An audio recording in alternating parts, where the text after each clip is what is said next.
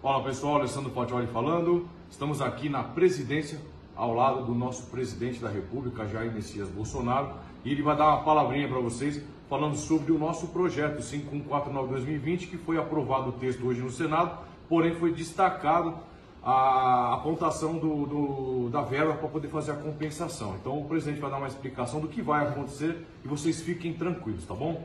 É, sempre se fala em renúncia de receita, no caso, não cobrar imposto de onde quer que seja, né? Você tem que ter uma fonte alternativa para isso. Aí estava, então, tínhamos um problema pela frente. E continua, começamos a trabalhar nesse problema, obviamente. E foi conversado duas vezes hoje com o senador Romário, que está relatando o projeto no Senado. Já foi resolvido esse problema, falta apenas a economia agora apresentar a fonte de receita, onde determinei que ela fosse apresentar. Então a isenção de IPI para taxistas vai continuar valendo em nosso governo.